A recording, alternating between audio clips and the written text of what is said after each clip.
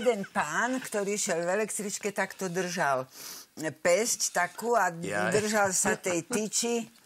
Áno. Držal sa tej tyči a o chvíľu si takto spravila. Zase sa držal tyči a o chvíľu zase tak. Zase sa držal tyči a jeden spolucestujúci sa ho opýta, prosím vás, čo to robíte? Mohli by ste mi to vysvetliť? A on hovorí, ale idem žene kúpovať podprsenku a nesiem si mieru.